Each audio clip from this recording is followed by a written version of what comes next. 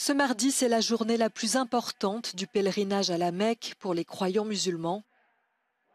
Des centaines de milliers de pèlerins se rendent au mont Arafat, à une vingtaine de kilomètres de la ville sainte saoudienne. Ils sont réunis depuis l'aube pour une journée de prière. À la tombée de la nuit, ils repartiront pour se reposer dans la ville de Mousdalifat. La prière sur le mont Arafat est pour eux une chance de salut et de renouveau spirituel car c'est là que le prophète Mahomet a prononcé son dernier sermon.